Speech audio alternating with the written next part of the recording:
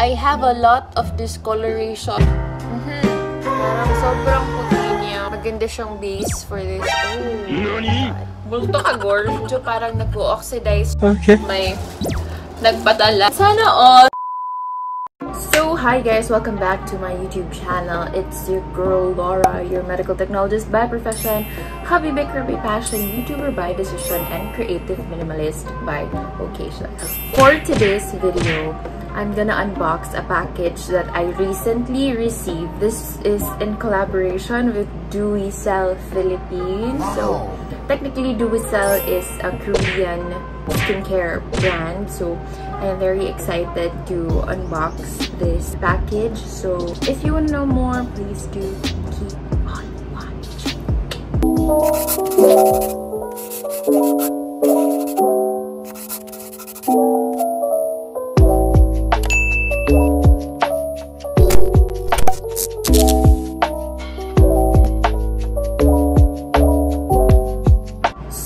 I received this package earlier today. And buksan na natin siya. Tigil yan. Shinik pa talaga, no? So, ang sabi dito, guys, it's from Dosandero, 15 Hill, Gangnam-gu, Seoul, Korea. Pakalakas naman talaga natin, no? Fresh from Korea ang parcel natin for today. So, dati pa talaga akong curious kung ano ba talaga tong Cell M na to kasi palagi siyang lumalabas sa Facebook ads, if I'm not mistaken. Minsan, lumalabas din siya sa Instagram ads ko. So, kaya, even then, I was already curious kung ano talaga tong Cell eme. So, ito yung laman ng box, guys. We have here this Dewy Cell Super Cover Cushion number 23. Ayan, napakaganda ng packaging nila. May pa-holographic eme. Especially, I love the color purple. So, ayan siya. Ito ulit yung Cell Super Cover Cushion number 23. And may kasama siyang refill na holographic pa rin yung design. Then, we have here this Sika Plus Balm. Ang ganda ng packaging nila, no? Napakalakas talaga makasyala. Ang daming Korean brands na sobrang worth it talagang pag-investa ng money. We'll try this out para makita natin design kung ano ba talaga yung tunay. So, we have here filtering cream na may whitening effect and glowing effect. I can actually read Hangul, but I do not understand pala. So, we stand multilingual queens, which hindi ako yun. Lastly, we have here this turn-on cream. Five products in total. Kasama na tong refill ng Super Cover Cushion. So, I'm gonna try these products in a separate video kasi I have makeup on na right now and may lakad pa kasi ako dyan. So, let's do it in another sit-down vlog. Sa packaging lang, packaging-wise, I am very impressed already. Wow. So, let us try these products one by one. So, yeah, hi guys. As I was saying, I'm gonna try out the products that Dewy Cell sent me. So, we have a total of five products to be exact. And, as you can see, I don't have makeup on. And, naglagay lang ako ng brow soap. This is from Art. RT. Art. so, this is from Art. And, I have lip tint on because, guys, di pwede hindi ako mag-lip tint kasi sobrang putla ko talaga in person. So, I have to put a little bit of color sa pamumukha ko para hindi naman ako magmukhang may sakit. So, yun. As you can see, this is what my skin looks like. This is what I look like barefaced. I have a lot of discoloration over here dito sa chin area. Sobrang dami talaga, guys. But they are in the process of healing right now since nag pop talaga yung mga chismis ko sa pagmumukha. Kasi nga naka-mask and ako naka-hospital duty pa ako. So for the whole 8 to 12 even 16 hours naka-mask ako and naka-PPE ka, naka-mask ka, tas naka-face shield ka pa. Sobrang init nun guys. And yung mga pawis minsan dito nagsasettle sa part ng mask which is why meron tayong mask which is I think common these days. So, yan siya.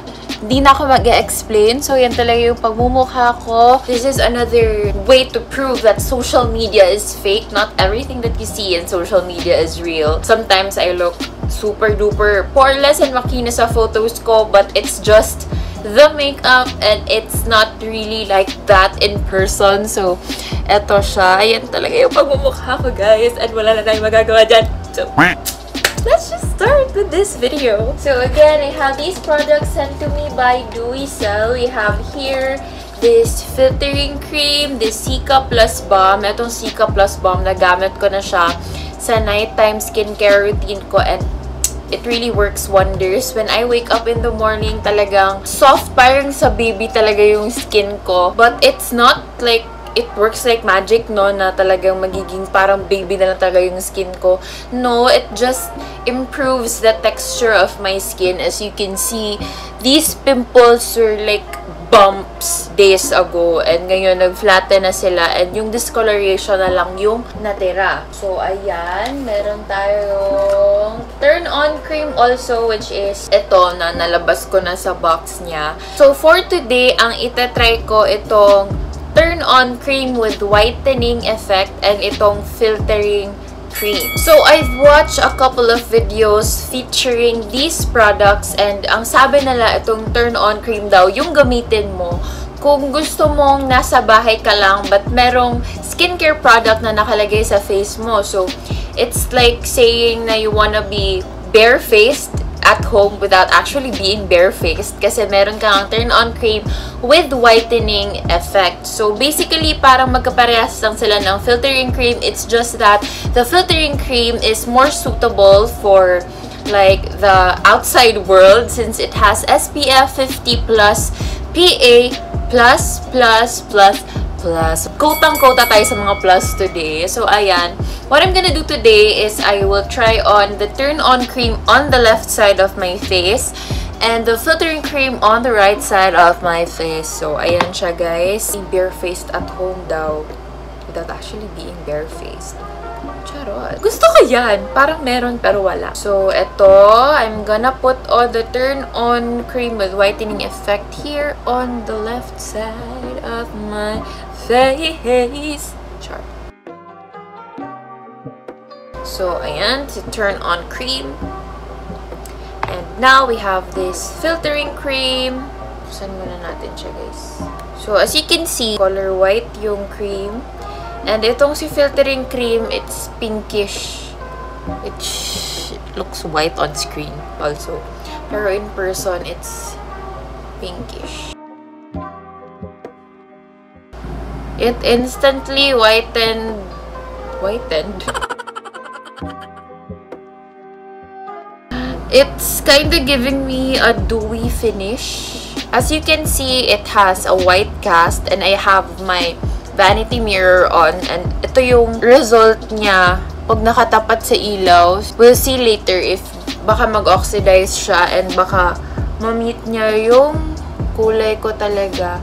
So, nalimutan kong lagyan ang leeg ko. So, baka magmukha tayong espasol. It has a slight coverage. It's just that, mas nag-overpower pa rin yung hyperpigmentation ko gawa ng pimples ko last week. After a few minutes, parang hindi na siya icky, hindi siya sticky sa feeling, so hindi malagkit, di kagaya ng ibang products na pag nilagay mo sa pagmumukha mo, kahit pa isang oras na yung nakalipas, sticky pa rin siya sa feeling. So now we're gonna proceed to the filtering cream with whitening and glowing effect with SPF 50 plus PA plus plus plus plus may pinkish undertone si filtering cream, guys. Makikita niyo talaga yung difference ng left side sa right side ng pagmumukha ko.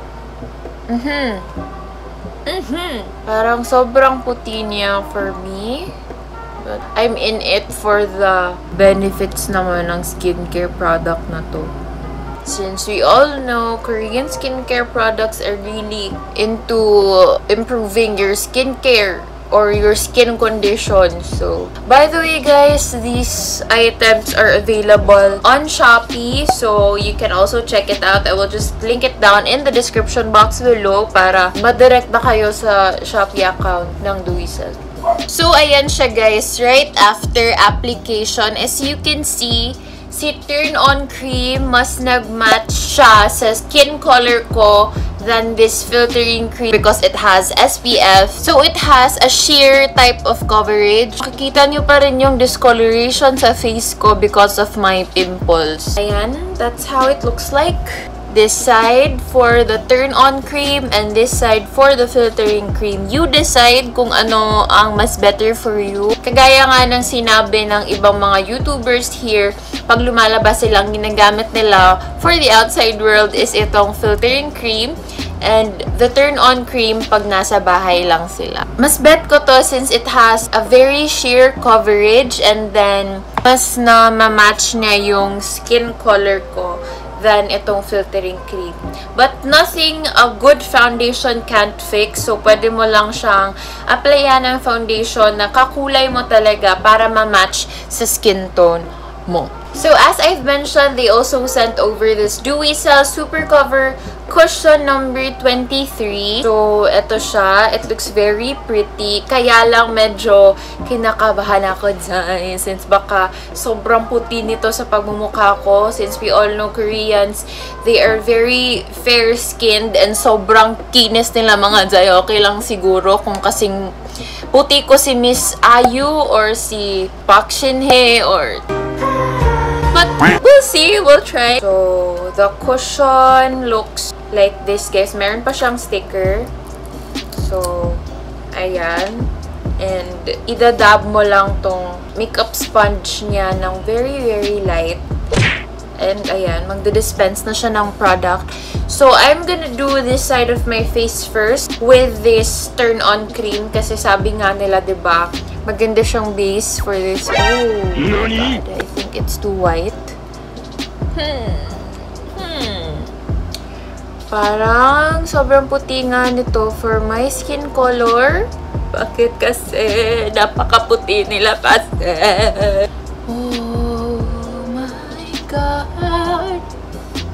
As you can see, sobrang puti.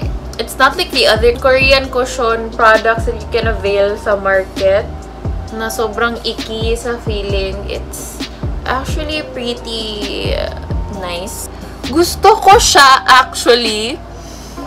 It's just that hindi niya na-match yung skin color ko. But we'll see. Nothing a good bronzer can't fix. So, ayan siya. This side with the turn-on cream.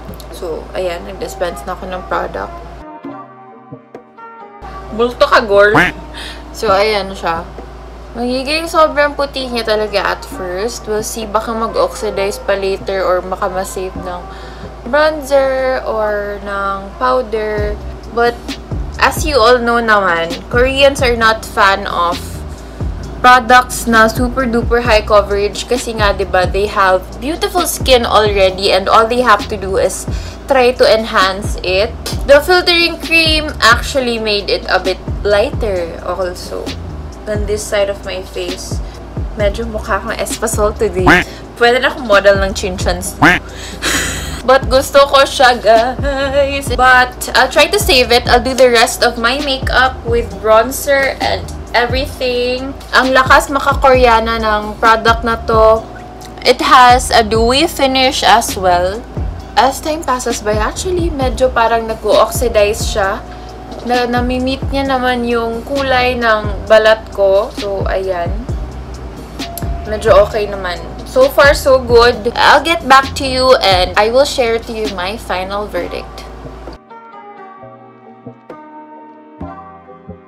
So yes guys, I just finished the rest of my makeup as you can see and insert ko lang since may nagpadala ng milk tea burger at price. So, kulang ng prutas.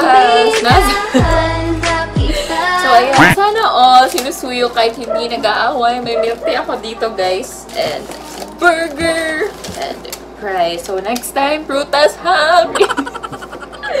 so, ayan. Anyways, let's proceed to my final verdict. So, as you can see, I said before, di ba, nothing a good um, face powder and bronzer can't fix. So, ayan guys, it matches my skin tone better now. Ayan siya. Lakas ng kakoreano ng look natin today with the bangs and everything. May pag-glitter-glitter eh. May pa si Mayora.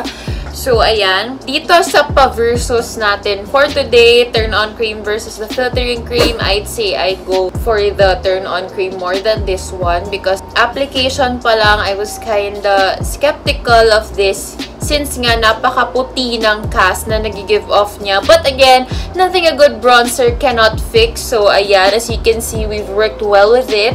And okay naman siya. The only downside of the turn-on cream is that wala siyang SPF. So, you're not protecting yourself, your skin, and your face against the sun. So, for the extra protection, I go for the filtering cream. But both items are actually very high quality and I'm not saying this just because they provided me with these products. No, it's based on my personal experience and observation. So, ayan. May pabangs pa tayo, guys. So, this actually is a clip-on box from Shopee. Link down in the description box below if you want to know where I got it. Like, sa shop ko siya nabili. So, ayan. That is all for today's video. And ito din, actually, medyo maputi siya sa skin color ko. But I can work with it. And sobrang dewy and magaan lang siya sa face. Unlike the foundations that we usually use. So, it's a plus for me. I'm still gonna use this. And yeah, I think that's it for today's video. I will enjoy my milk tea burger at Price. So, yun lang. Thank you so much for watching until the end of this video. Please do like, comment, share, and of course, subscribe to my YouTube channel and see you in the next one. Don't forget to take care of yourself because if you don't, who else would? Bye!